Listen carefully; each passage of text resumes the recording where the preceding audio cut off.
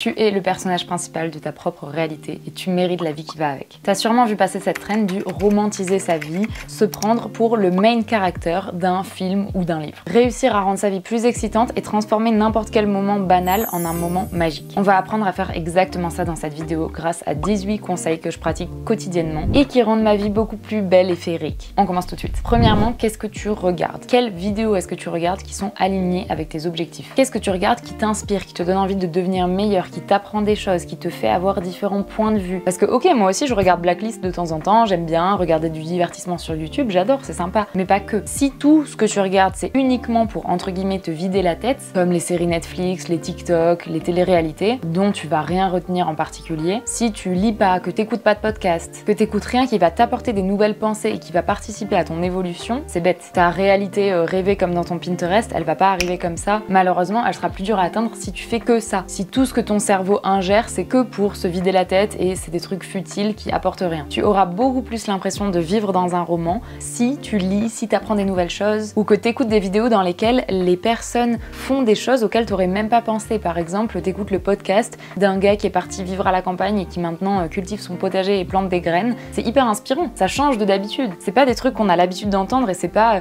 ce que tu te dirais que tu vas faire demain. Donc forcément qu'il a des choses à t'apprendre. Forcément que ça va sortir de ta bulle. C'est hyper important de regarder des vidéos, de regarder des podcasts, d'écouter des gens qui font autre chose que ce que toi tu fais tous les jours. Quand je regarde des vidéos, je cherche toujours des conseils pour des vidéos YouTube qui changent de d'habitude, que ce soit pas toujours la même chose. Ou alors je vais regarder euh, une meuf qui parle de sa passion pour le piano et du coup ça va me donner envie de me mettre au piano. Tout ce que tu ingères va avoir une influence sur ton évolution, donc choisis les contenus que tu regardes. Deuxièmement, arrête d'attendre l'occasion. C'est la clé pour vivre une vie plus romantisée. L'occasion, c'est n'importe quand, c'est aujourd'hui, c'est maintenant. Bois de l'eau dans un verre à vin en écoutant du jazz, même si t'es toute seule chez toi, que tu fais rien de spécial, genre tu ranges ton appart, ben rends ce moment spécial. Le fait de créer toute cette ambiance, tout ce mood, ça va te changer complètement ton mindset. Porte ces talons que tu mets une seule fois dans l'année euh, à Noël, ben mets-les juste pour aller au cinéma, juste pour faire une petite soirée euh, chez toi avec tes copains. Porte ces talons, n'attends pas l'occasion spéciale. Je me souviens que pour mon anniversaire il y a deux ou trois ans, j'avais fait un tout petit repas chez moi juste avec mes meilleurs potes, c'était très chill, et j'avais une de mes meilleures amies qui s'était ramenée en mode full bombe, les talons, la robe moulante tout, elle était magnifique. Et c'est vrai que quand je l'ai vue, je me suis dit, mais, mais grave, elle a trop raison. Genre, pourquoi attendre l'occasion spéciale alors que juste un dîner avec des potes, bah ça peut être l'occasion de te mettre sur ton 31. On n'a pas tous des mariages et des dîners hyper classe chaque semaine. Donc n'attends pas cette occasion parce que tu sais qu'elle viendra qu'une fois par an. Mange tes pâtes au ketchup dans cette magnifique assiette qui est au fond de ton placard et tu te dis, oh ça vaut pas le coup de la sortir. Ben si, si, si, ça vaut le coup. Utilise ta bombe de bain, vous savez, c'est pour avoir euh, l'eau du bain colorée, sans occasion particulière. T'attends quoi en fait Genre d'être accepté dans l'école de tes rêves pour avoir le droit de prendre un bain rose Arrête, c'est ridicule. J'ai le droit de le dire parce que moi-même, j'ai plein de sel de bain, de beaux gels douche, etc. que j'ai pas utilisé en me disant ce sera pour une occasion particulière. Qu'est-ce que j'attendais en fait D'avoir une douche en or avec de l'eau purifiée de lune qui me coule dessus pour pouvoir utiliser ce fameux gel douche? Non, en plus, les produits comme ça, ça périme après quelques années de toute façon, donc autant les utiliser. Arrête de faire le rat et porte ce manteau qui est au fond de ton placard, hyper bien emballé dans un plastique parce qu'il a coûté très cher et que tu gardes pour les occasions. C'est aujourd'hui l'occasion. En plus, les vêtements, ils peuvent grave s'abîmer en restant dans un placard. Ils peuvent se faire manger par les mythes, euh, sentir le renfermer. Tu veux en gros les protéger et pas les utiliser, mais c'est littéralement fait pour ça. Les vêtements, les objets sont faits pour être utilisés. Porte ce manteau. J'ai un très bon exemple, vous savez, quand on était enfant et qu'on recevait des gommettes ou des stickers. Ben, je pense que plein d'enfants, dont moi, ont gardé ces gommettes et ces stickers de sorte à attendre qu'on ait un moment et un endroit parfait où les coller. On attendait par exemple d'avoir euh, un MP3 ou un casque audio ou un agenda, vous savez, les jolis agendas où on dessinait dessus, on les décorait, etc. Ben, on attendait d'avoir l'objet parfait pour pouvoir utiliser nos stickers préférés. Le truc, c'est que je suis sûre aujourd'hui de pouvoir retrouver des dizaines et des dizaines de stickers toujours collés sur leur euh, petite planche originale parce que j'ai jamais osé les décoller pour les mettre quelque part parce que je savais qu'une fois que je les collais, ben, il n'y avait pas de retour en arrière quoi. Mais c'est une gommette, il faut se détendre la nouille. Donc l'occasion, c'est maintenant. Allume ta bougie, te dis pas je vais la garder pour euh, quand j'aurai des invités, quand ceci, quand cela. Fais-le maintenant pour toi, juste parce que ça te fait plaisir. Troisièmement, arrête d'avoir la flemme. Traite-toi comme si t'étais une invitée. C'est un peu lié au point précédent. Par exemple, quand tu te dis je vais euh, faire ça parce que c'est plus simple, ben non. Non, non, non. Tu fais pas seulement ça. L'exemple typique, là, je peux me taper sur les doigts parce que je le fais souvent, c'est quand je me prépare à manger, donc je fais, euh, je sais pas, mes pâtes avec ma petite sauce maison, avec des petits légumes grillés, etc.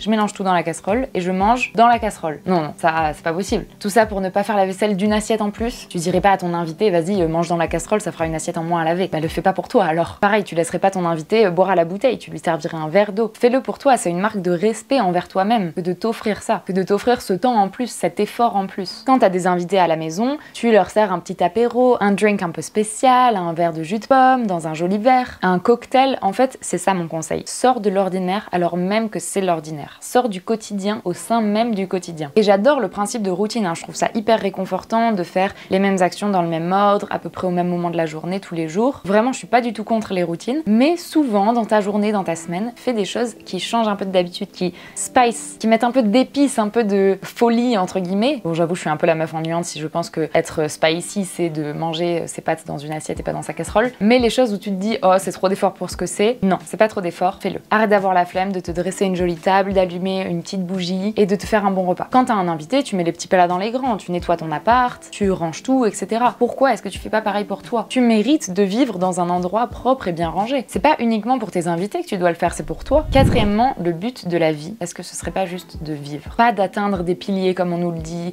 d'avoir des enfants, d'acheter sa maison, de pouvoir voyager, faire des vacances, d'atteindre un statut professionnel important, d'avoir sa boîte, d'être directeur. Si le but de la vie c'était juste de faire attention à ses cinq sens, au moment présent, à être conscient sur ce qui se passe en ce moment, ce qui nous entoure, plutôt que de prendre ton café le matin dans le rush juste avant d'aller au boulot, ben prends 10 minutes de plus que tu aurais passé euh, à scroller sur ton téléphone en mangeant ton petit déj. D'ailleurs, si tu veux passer moins de temps sur ton téléphone, j'ai fait la vidéo qu'il te faut avec tous mes conseils qui m'ont fait passer de 7h, 8h d'écran à 2 heures par jour. Avec ces 10 minutes que tu as en plus, profite du temps que tu as. Profite des actions que tu es en train de faire, de l'odeur du café, de l'eau qui coule dans la tasse, des formes que la mousse crée dans ta tasse avec le café. À quoi ça ressemble ces dessins? Fais marcher ton imagination. Sens l'odeur, le goût et à quel point la fumée qui sort de la tasse est esthétique et les formes que ça crée. D'ailleurs, c'était drôle parce qu'en écrivant cette partie de mon script pour cette vidéo, quand j'écrivais cette partie sur le café et que vraiment j'essayais de visualiser le café, les odeurs, etc., j'avais l'odeur du café dans le nez. Genre pour de vrai, comme si quelqu'un à côté de moi était en train de se préparer un café. Mon cerveau a créé l'odeur du café juste parce que j'y pensais et que je le visualisais très fort avec mes cinq sens. Notre cerveau peut imaginer ce qu'il veut et faire apparaître ce qu'il veut dans notre vie. Dans une autre vidéo que je regardais d'ailleurs sur la visualisation,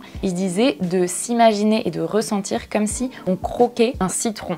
De ressentir l'acidité dans sa bouche, ce que ça faisait, etc. Le goût, essayer de le remarquer le plus possible. Et à ce moment-là, il disait maintenant réalisez que dans votre bouche, vous avez beaucoup plus de salive. Et c'est vrai que ton corps, en fait, il crée plus de salive parce qu'il croit que tu as un citron dans la bouche. Ce serait la réaction normale de ton corps si tu avais vraiment un citron dans la bouche, mais là tu l'as pas, c'est juste ton cerveau qui l'a créé uniquement parce que tu l'as visualisé. Si tu peux l'imaginer, alors tu peux le créer dans ta réalité. Moi perso, je crois à fond à ça. Alors pose plus d'attention sur tout ce qui t'entoure au quotidien et la prochaine fois par exemple que tu vas prendre le bus, fais l'exercice de au lieu de te mettre direct sur ton tel, regarde autour de toi, ressens le vent frais sur ton visage, le soleil qui réchauffe ta peau, écoute les bruits s'il y a des petits oiseaux qui chantonnent, vis la vie comme un poème. Cinquième chose, visite ta ville comme si t'étais une touriste, fais des sorties, fais des activités. Plein d'entre vous qui me regardent, là peut-être toi tu regardes cette vidéo, tu vis dans la ville la plus sexy du monde, Paris. Et quand bien même si tu vis pas à Paris, tu vis peut-être dans une ville ou dans un endroit qui est magnifique, dans lequel des personnes viennent passer leurs vacances. Il y a des personnes qui payent un billet d'avion, qui prennent leur voiture, qui roulent ou alors même qui louent une voiture, qui font des heures de route pour arriver là où tu es et qui payent un hôtel. Donc chaque nuit, ils payent pour être exactement là où tu es. Donc profites en plus. Et moi y compris, en ce moment j'habite dans une station de ski qui est absolument magnifique. Make the most out of it. Si tu habites dans une grande ville et que tu as moins de 25 ans, c'est sûr qu'il y a plein d'activités qui seront gratuites, des musées, des expos. Et puis trouve d'autres activités et va faire un pique-nique dans un parc, va au ciné, prends un petit journal et va écrire tes pensées et tes poèmes dans un parc. Il y a quoi qui fait plus main character que faire ça? La fille qui a plein de pensées, qui est un peu artiste et qui va se poser dans un parc dans l'herbe pour écrire des poèmes. Il y a quoi qui fait plus personnage principal d'un livre? Quand j'habitais en Angleterre, je vivais dans une petite ville absolument magnifique et pas mal touristique d'ailleurs. Mais je me disais, c'est bon, je suis là pour 5 ans, j'ai le temps de visiter la ville. Pas du tout. Pas du tout. Si tu le prévois pas, tu le feras pas. Alors organise-le maintenant. Fais-toi une liste de tous les endroits que tu aimerais visiter dans ta ville. Planifie. Et aussi, planifie-toi une après-midi ou une journée où tu vas juste vagabonder.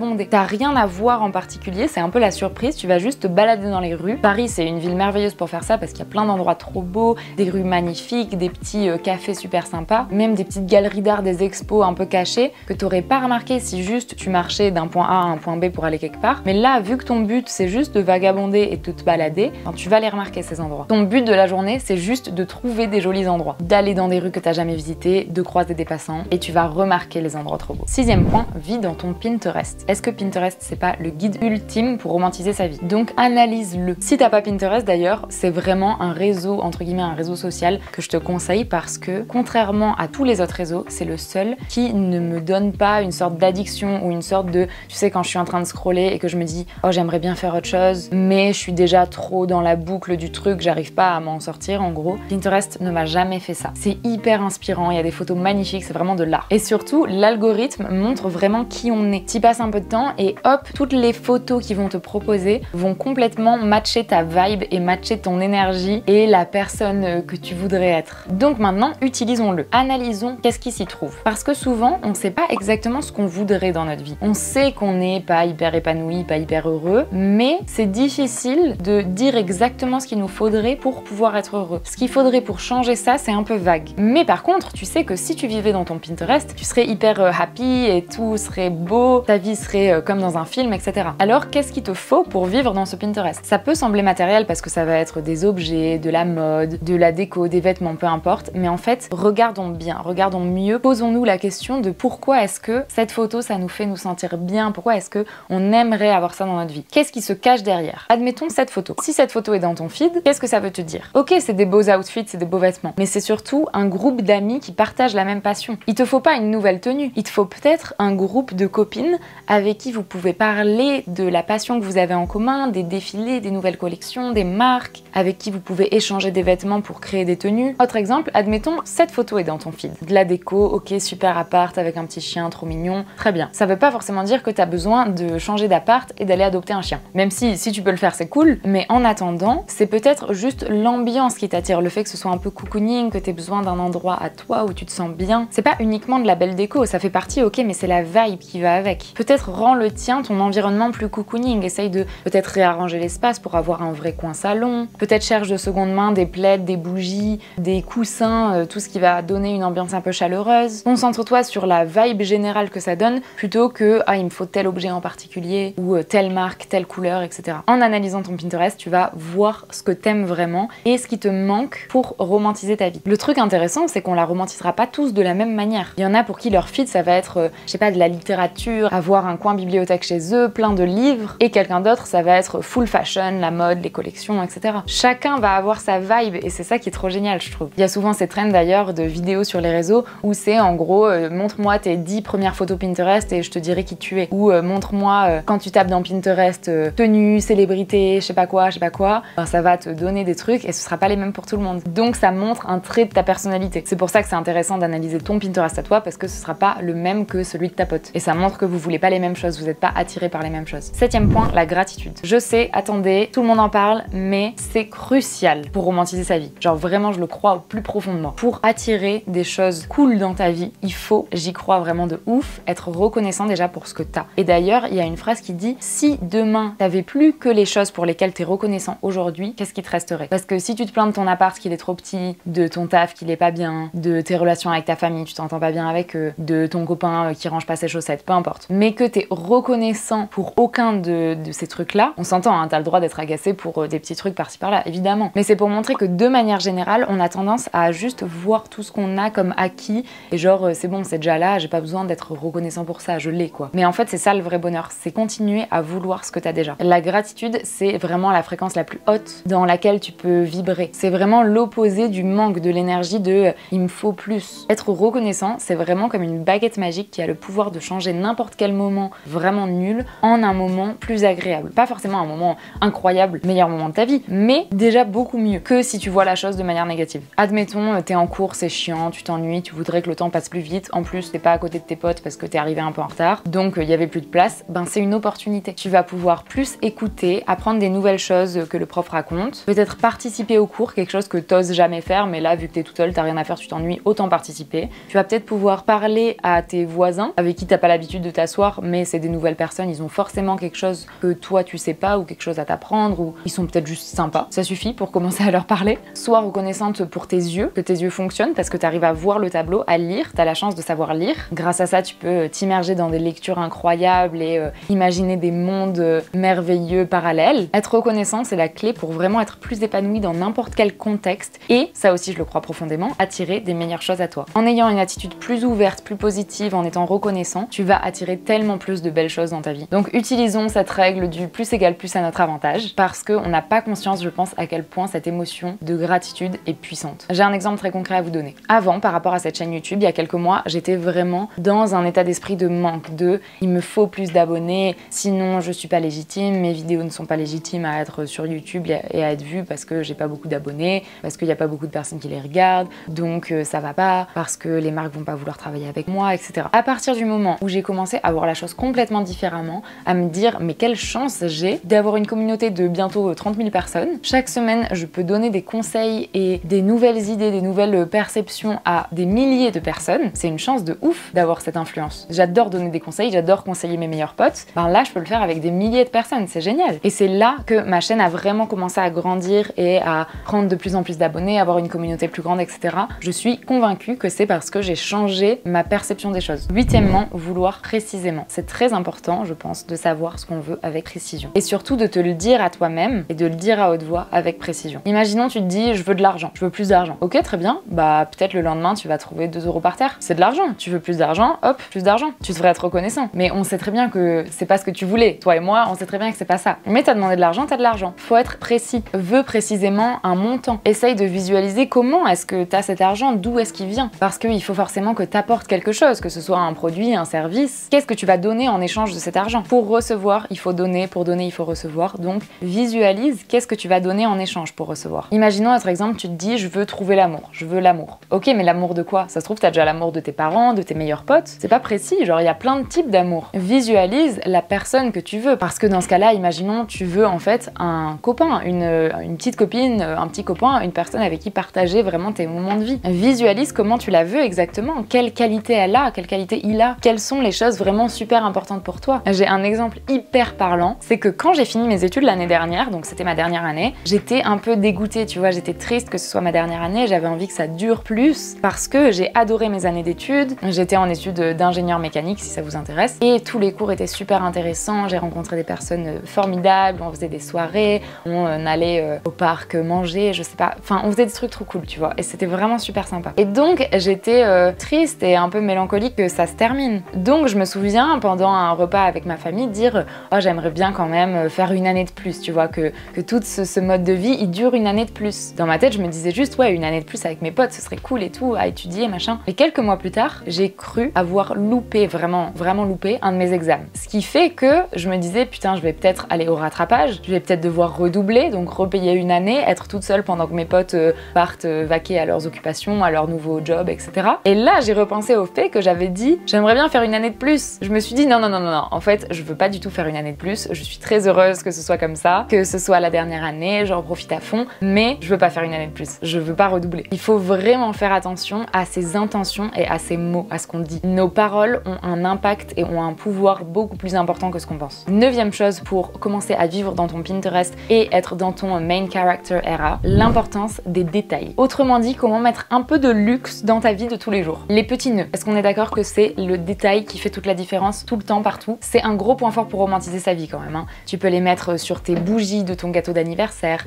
tu peux les mettre en petites broches ou en petites boucles d'oreilles. T'as juste à trouver un petit ruban, tu fais des petits nœuds, tu les mets sur tes boucles d'oreilles, dans les cheveux aussi, c'est incroyable. Ou si tu fais une petite soirée chez toi, tu peux nouer des petits nœuds sur les verres à pied. C'est un petit détail qui fait toute la différence. Autre chose, achète-toi ces fleurs. Ce sera peut-être un petit détail dans ton appartement, mais ça change tout. Là, c'est la saison, il recommence à faire beau, profitons-en. C'est l'heure de remplir ce vase qui est vide depuis bien trop longtemps. Évidemment, si tu peux te le permettre. Hein. Je sais que 20 euh, ou 30 euros pour certaines personnes, c'est vraiment important. Ils peuvent pas se permettre de les mettre dans des fleurs. Si tu as la chance de pouvoir le faire, fais-toi ce cadeau. Si tu pourrais le faire pour une amie, pour un proche, pour quelqu'un que t'aimes, fais-le pour toi. D'ailleurs, vous avez peut-être entendu parler de ce truc de girl math. C'est en gros comment est-ce qu'on réfléchit pour que quelque chose qu'on achète devienne gratuit? Ben là, pour les fleurs, ce serait l'exemple typique de ton bouquet, tu le payes 25 euh, euros, mais tu le gardes toute la semaine, donc en fait, ça coûte à peine plus que 4 euros par jour, donc c'est pas grand chose. Donc c'est quasiment comme si c'était gratuit. Girl math. Quand tu prépares ton café, fais des jolis dessins sur le verre avec du caramel, rajoute de la vanille, prends le temps de te faire un truc stylé. Et d'ailleurs, un exemple, c'est que j'ai travaillé euh, il y a quelques jours pour une soirée, un peu un gala de charité, mais avec des personnes qui avaient beaucoup d'argent. Moi, j'étais juste euh, hôtesse, tu vois, je faisais la réception, euh, rien d'hyper intéressant. Mais j'ai quand même pu remarquer que tous les invités qui étaient là, ils étaient tous hyper clean. Pas forcément hyper extravagants, hein. Des fois, ils avaient des tenues toutes simples, des coiffures vraiment toutes simples, mais ça faisait propre. Par exemple, j'ai vu aucune femme qui avait un vernis écaillé. Bon, ça veut pas dire que je suis mes conseils, hein, parce que juste avant cette vidéo, j'ai dû refaire mon vernis parce qu'ils étaient écaillés, mes ongles, depuis 7 euh, jours. Mais oui, en gros, tu paraîtras beaucoup plus élégante et beaucoup plus distinguée si tu fais attention à ces petits détails-là. Autre chose, garder les mêmes bijoux plus longtemps plutôt que d'acheter euh, des petites babioles qui se cassent en un mois d'été. Ben, investis plutôt dans de l'acier inoxydable ou des matériaux euh, qui vont durer dans le temps. Des choses plus simples dont tu vas pas te lasser aussi. Les petits détails comme ça, je trouve ça crucial pour réussir à romantiser sa vie. Dixième chose, habille-toi bien et prépare-toi en musique. Ça change tout un mood la tenue parce que moi perso, je fais souvent mon montage à la maison étant donné que voilà, j'écris mes vidéos, je travaille beaucoup à la maison et donc souvent, très souvent, je reste en jogging ou en pyjama parce que c'est très confortable. Avec mes grosses chaussettes en laine tricotées par ma grand-mère, c'est merveilleux. Mais je vous avoue que c'est pas quand même la tenue dans laquelle je me sens la plus au max, la plus euh, fraîche, la plus euh,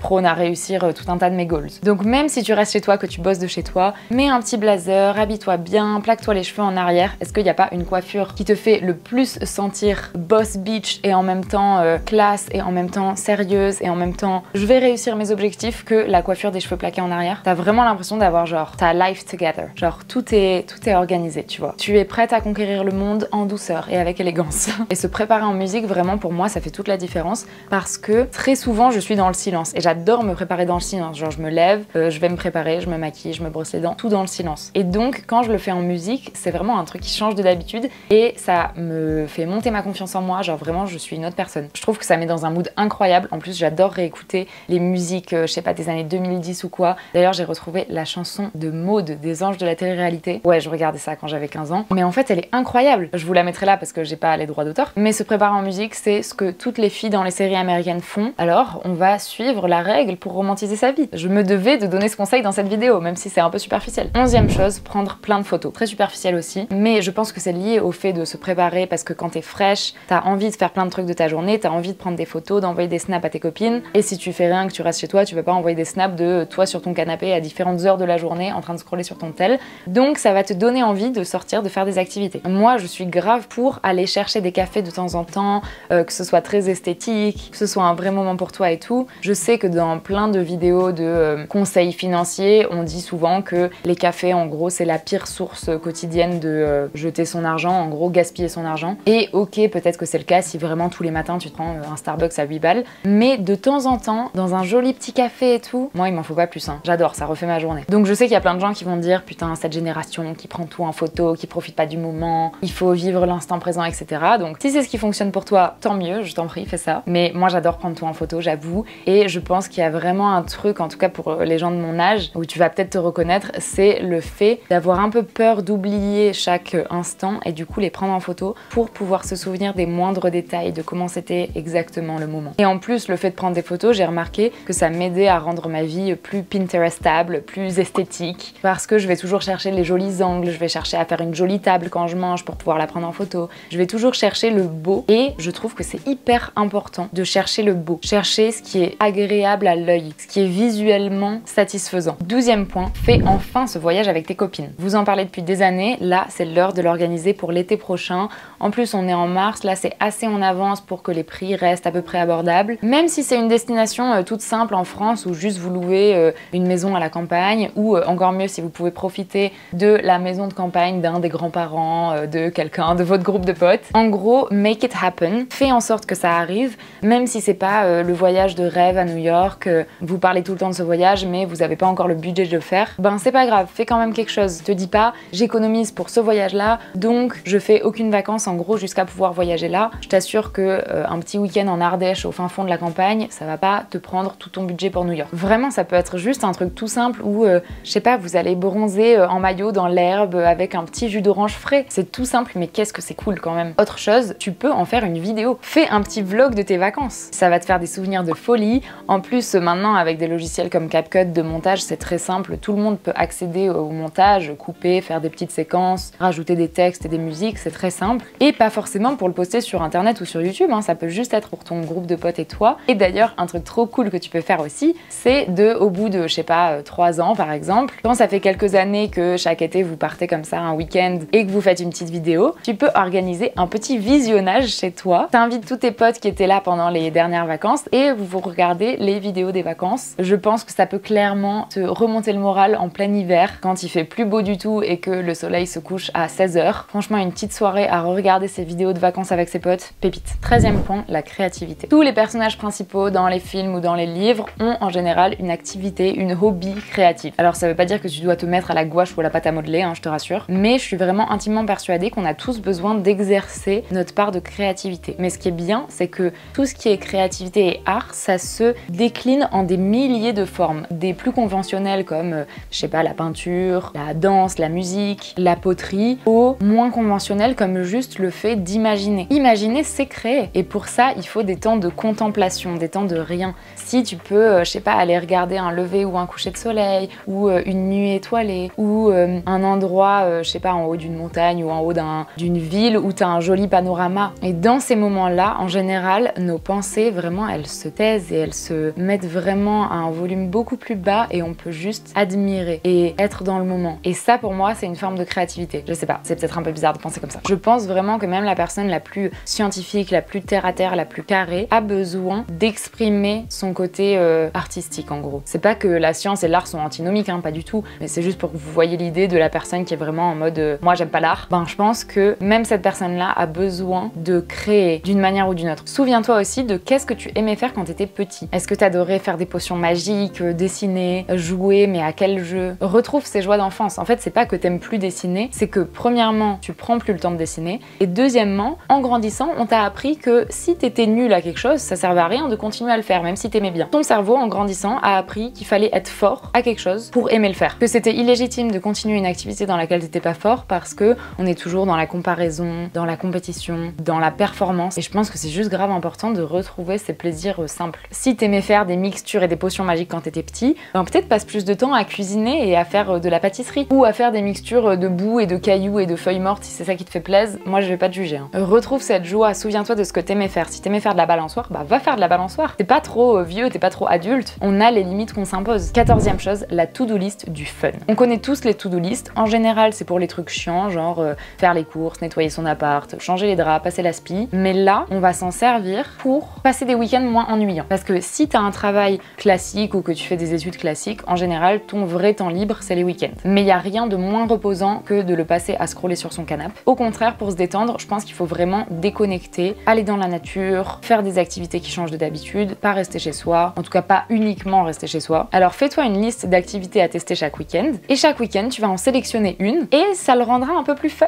Que ce soit des activités à faire seul ou en groupe. Hein. Je te donne des exemples. Aller au théâtre, aller à l'opéra, faire un cours de pilates, aller à la salle de sport, pique-niquer dans un parc, écrire dans son journal intime sur un banc à l'extérieur, ou avoir un petit carnet à dessin et aller dans un café et soit dessiner un monument à côté, soit dessiner des, des personnes qui sont dans le café. Vous savez, on voit souvent ces personnes qui dessinent, je trouve ça trop cool. Aller acheter des fruits et légumes locaux, genre faire le marché, préparer une recette que tu as enregistrée sur Instagram, t'invites tes copines et vous faites une petite soirée euh, où vous sélectionnez deux trois recettes et vous préparez tout. Et si tu es une personne vraiment très fun, au lieu que ce soit une liste, tu peux écrire chaque idée sur des petits bouts de papier, le mettre dans euh, une, euh, un bocal, un bol ou quoi, et chaque week-end t'en tires un au sort. Ça c'est vraiment fun, hein. ça c'est très très très très fun. Non, je me moque de moi-même, mais je pense qu'en faisant ça, c'est impossible que ton week-end il soit ennuyant, non? 15e point pour les étudiants, ceux qui sont à l'école et qui veulent romantiser un peu leurs études, comment rendre son travail plus sexy? Déjà, achète-toi des petits stylos de couleur. Ok, c'est super superficiel, mais je trouve que ça fait toute la différence d'avoir ces petites notes surlignées, colorées. Et en plus, concrètement, pour le cerveau, tu vas faire des liens entre euh, toutes les couleurs. Tu peux te dire que par exemple, telle couleur, c'est les dates, donc euh, toutes les dates, tu vas les surligner en telle couleur.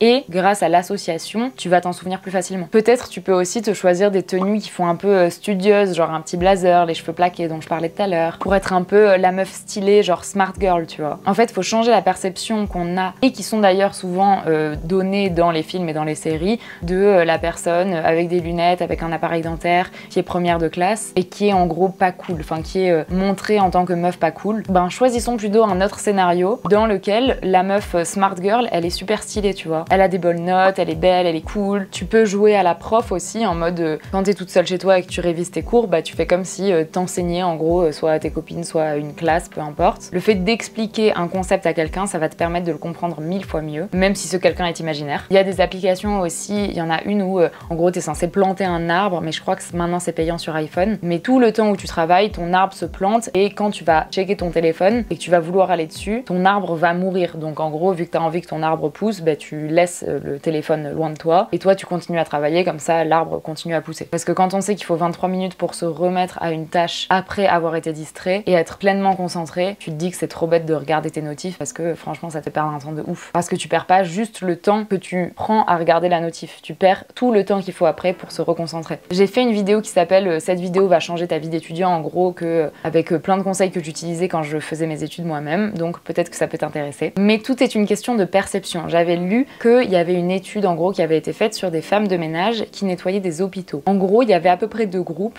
Un dans lequel les femmes de ménage, elles voyaient vraiment ça comme une corvée, comme un travail alimentaire. En gros, elles faisaient ça juste pour payer leur loyer et payer leurs courses. Et elles y voyaient pas un but plus grand. Et le deuxième groupe de femmes de ménage, elles arrivaient à percevoir la chose complètement autrement. Elles voyaient le truc en mode, grâce à moi, grâce à mon travail, il y a du personnel hospitalier qui va pouvoir venir dans un environnement propre et sain et être bien dans son lieu de travail, qui va pouvoir aider des gens, soigner des gens. En gros, elles se voyaient vraiment comme une part de l'équipe du personnel hospitalier. Et ces personnes-là faisaient beaucoup mieux leur travail parce qu'elles y trouvaient un vrai sens et elles trouvaient une vraie utilité dans ce qu'elles faisaient. Donc je pense que c'est important que tu fasses pareil pour tes cours. Essaye de voir tous les aspects positifs. Peut-être tu as certains profs qui sont très inspirants. Certains cours, peut-être dans certaines matières, qui ont le potentiel d'aider des personnes dans ce monde, qui ont un, but plus grand, une utilité. Tout ce que tu connais, tes connaissances, c'est quelque chose que tu pourras jamais perdre. Donc investir dans le fait d'apprendre, c'est merveilleux. On pourra jamais t'enlever ton savoir, tu l'auras toujours. 16 chose, moins de téléphone. Les personnages principaux dans les films ou dans les livres, tu les vois jamais sur leur tel, hein. ils vivent leur vie pour de vrai. J'en ai parlé dans ma dernière vidéo. Avant, je me disais, je passe 7 heures par jour sur mon téléphone, mais c'est normal parce que je crée du contenu, donc il faut que je me renseigne sur euh, les tendances du moment, etc. Je me mentais clairement à moi-même. Hein. Maintenant, je suis à 2-3 heures de tel par jour et ça me convient mille fois mieux. J'ai vraiment l'impression d'être plus active de ma vie en fait. Littéralement, cette vidéo, c'est un guide. Si tu le suis pas à pas, c'est sûr et certain, je suis persuadée que ton temps d'écran va diminuer. Et c'est aussi pour ça que je trouve que la to-do list du fun, en gros, elle est vraiment bien parce que ça va te permettre d'organiser des vraies activités avec des personnes ou toute seule qui vont faire en sorte que ce sera du temps que tu passeras pas sur ton téléphone. 17e point, voir le beau partout. Tout autour de nous, il y a tout le temps des choses magnifiques qui se passent dont on se rend même pas compte, on fait même plus attention à ça. Des rayons du soleil qui passent à travers ta fenêtre et qui vont dans ta cuisine le matin. Le tissage de ton plaid ou de ton pull en maille. Faire attention aux petits détails de tous les jours et encore plus ce Moi j'adore en particulier les détails visuels parce que je pense que quand on fait de la photo, bon euh, je suis pas une grande photographe, hein, je fais juste euh, des posts sur Instagram, je redescends direct, mais quand on s'intéresse à l'art visuel de manière générale, on a tendance à remarquer des détails complètement anodins, mais qui rendent une scène ou un moment, un coin de table, une fenêtre, peu importe, très beau. Donc essayez de plus les remarquer, ça va faire en sorte qu'on va beaucoup plus romantiser notre vie. Quand tu lis un mot écrit à la main, faire attention au style de l'écriture. C'est si beau et en même temps si simple. Même quand le ciel il est gris, ben des fois t'as des nuages et la manière dont ils sont définis, on dirait vraiment un tableau, une peinture. Ou je sais pas, les fumées qui sortent des cheminées des bâtiments par exemple. Et ça me fait d'ailleurs penser à la traîne sur Insta des vidéos statiques parce que j'adore, t'es beaucoup plus dans le moment en fait. Et tu fais attention à l'objet qui bouge dans la vidéo et les petits détails qui se passent parce que la vidéo ne bouge pas. T'as rien à regarder d'autre en gros que ce qu'il y a sur la vidéo, mais vu que c'est une vidéo et pas une photo, bah, t'es beaucoup plus dans le moment. 18e point, dernier point, ton entourage c'est la clé. Est-ce que les personnes dans ta vie autour de toi sont ambitieuses? Est-ce qu'elles t'inspirent? Est-ce qu'elles t'apportent des choses? D'une manière ou d'une autre, hein, c'est pas du tout euh, des choses matérielles. Est-ce qu'elles t'apportent des conversations inspirantes? Est-ce qu'elles t'apportent des discussions intéressantes? Est-ce qu'elles te font te remettre en question aussi? Ou est-ce qu'elles sont toujours d'accord avec toi en mode euh, ouais ouais euh, très bien? Ou est-ce qu'elles te font te poser des questions? Aller plus loin dans ta pensée. Ça peut être dans plein de sujets différents mais profite de leur savoir aussi. Ce qui est hyper intéressant dans l'être humain c'est qu'on s'intéresse tous à des choses différentes. Donc évidemment on est plus attiré par les personnes qui ont les mêmes passions que nous et qui s'intéressent aux mêmes choses mais c'est sûr que t'as une amie par exemple qui s'intéresse plus euh, à la lecture, à la littérature. Demande-lui de te raconter sa dernière lecture préférée par exemple. T'as peut-être quelqu'un dans ton entourage qui est très cinéphile, qui adore le 7e art, le cinéma, et qui pourrait te donner une liste de films, genre de 10 films, à absolument voir. Ça peut être dans plein de sujets différents, profite de leur savoir. Moi, c'est ce que j'avais fait avec ma cousine et une amie à moi qui sont très fans de cinéma. Je leur avais demandé une liste de plusieurs films, en gros les films phares classiques à absolument voir pour refaire ma culture cinématographique parce que vraiment j'y connaissais rien. Et grâce à ça, j'avais regardé, je sais plus, 5 ou 6 films de leur liste. Bon, j'ai pas encore fini votre liste, désolé les filles, mais ça enrichit ma culture cinématographique et franchement, je trouvais ça trop cool. Je trouve ça dingue de se dire que chaque personne a quelque chose à t'apprendre et ça rend les conversations avec n'importe qui beaucoup plus intéressantes. Peut-être tu vas rencontrer une personne qui se passionne pour les plantes et elle va te donner des faits hyper intéressants sur une plante que tu aurais jamais su si tu l'avais pas rencontrée parce que c'est pas ton intérêt, tu serais pas allé chercher ces faits-là de toi-même. Donc essaye de trouver quand tu parles à quelqu'un quels sont les sujets qui le passionnent et dont il pourrait parler pendant des heures. Donc forcément ça va lui faire plaisir à lui vu que c'est quelque chose qu'il aime et toi ça va te permettre d'en apprendre plus sur la personne et sur un domaine que tu n'aurais pas euh, recherché de base. Et toi aussi d'ailleurs tu as forcément des choses à apprendre à n'importe qui. Je trouve ça génial. J'espère que ces petits conseils t'auront plu et que maintenant tu vas plus réussir à vivre ta vie de rêve de ton Pinterest romantisé comme dans un film. Si t'as envie, t'es libre de t'abonner et de laisser un petit commentaire et on se retrouve tous les dimanches à 18h sur cette chaîne YouTube et tous les jours sur Insta. Ciao